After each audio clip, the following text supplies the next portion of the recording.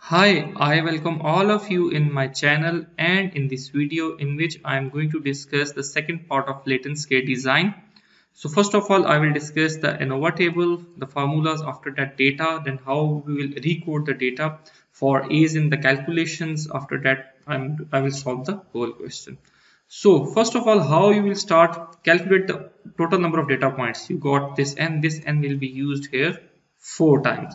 Then calculate how many levels of each factor do you have. So we have equal number of factors for treatment, rows and columns. So you will write the, you will get the p here and the same p value you can use in the degrees of freedom.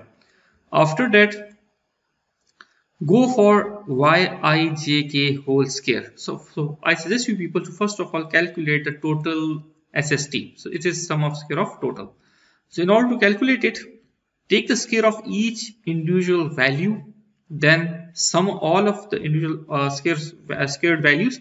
You will get this term. Okay. Now we talk about this y triple dot whole square what is it this?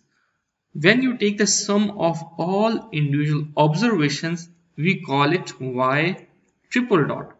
And taking its square and we also call this value as our grand total gt grand total or you can uh, we can call it grand sum so is it is up to you that what you will uh, give it the name after that we will done with the sum of square total then yi dot dot this is basically the sum of the rows. For example, if we have a 3 cross 3 Latin square design, how many rows we have? 3.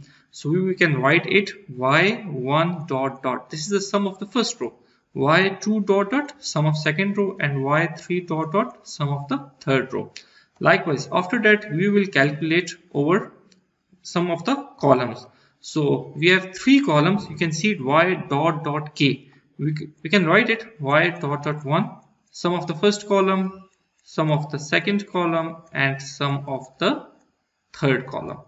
Then we will talk about our treatments. We in the Latin square design we represent our treatments by the alphabets, Latin alphabet A, B and C.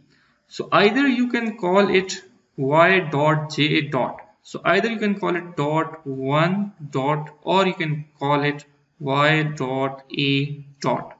Okay, most conveniently in your book design design and analysis of experiment by montgomery they have used y dot one dot. So it is the sum of first treatment or you can say you will have to sum up all of the values that are related with the a. Then y dot 2 dot take the sum of all the values associated with the b. So repeat the same step for the third your level c. So once you have done with all this uh, sum of squares, it is quite easy to calculate the rest of the work. So after that, calculate degrees of freedom. So if we have three levels, you, you can calculate 3 minus 1 is equal to 2. So 2, 2 and uh, 3 square 9 minus 1, 8. Obviously, we will get the rest of 2 degrees of freedom for the error term.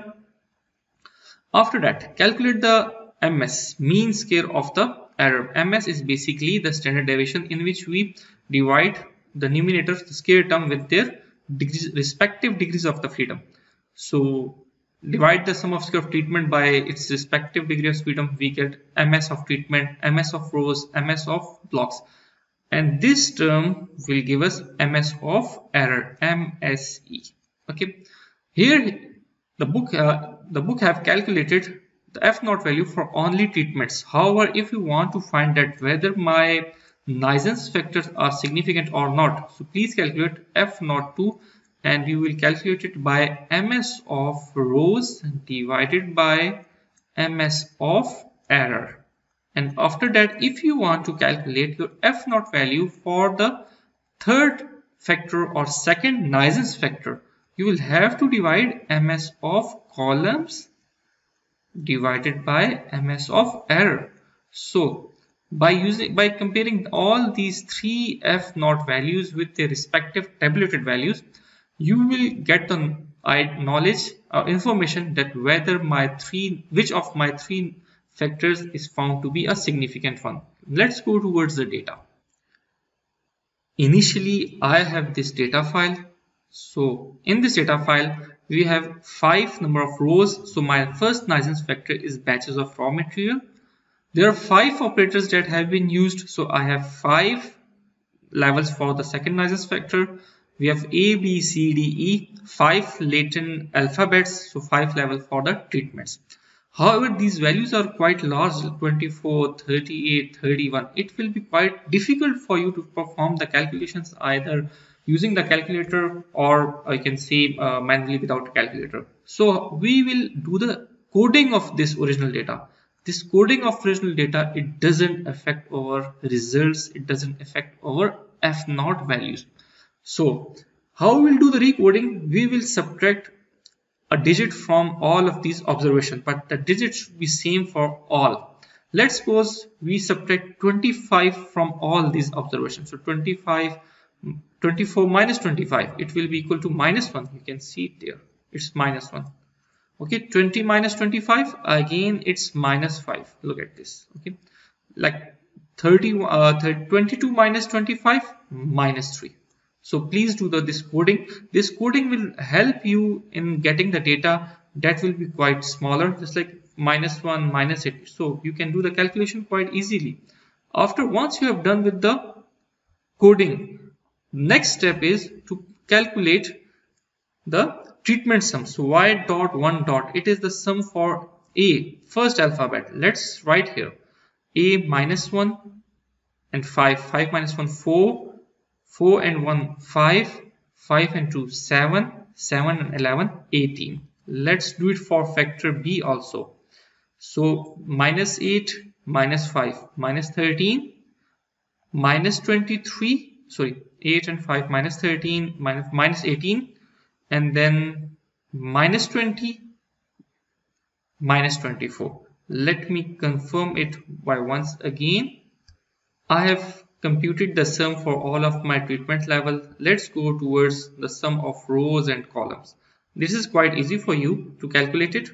So this you will calculate the sum of this first row. Minus 1 minus 5 this is equal to minus 6 minus 12 minus 13 minus 14 so you will calculate similarly all of them then do it same for the columns. Minus 9 minus 16 15 and minus 15 minus 3 minus 18 so you will get these five values and these five values. These are important for you to perform the calculations. And y triple dot the grand sum okay grand total it's it comes out to be 10 now in the next part of the video i will show you that about the ANOVA table, our conclusions, our decision on the hypothesis. Thanks a lot for watching the video. Bye.